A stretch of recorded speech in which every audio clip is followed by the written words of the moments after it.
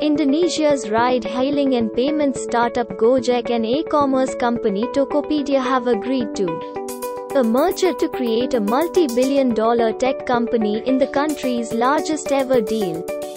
The merged entity will be known as GoTo and it could go public this year. With plans to list in the US and Indonesia, Gojek co-CEO Andre Soelistyo will become CEO of GoTo. Subscribe to the channel for more news.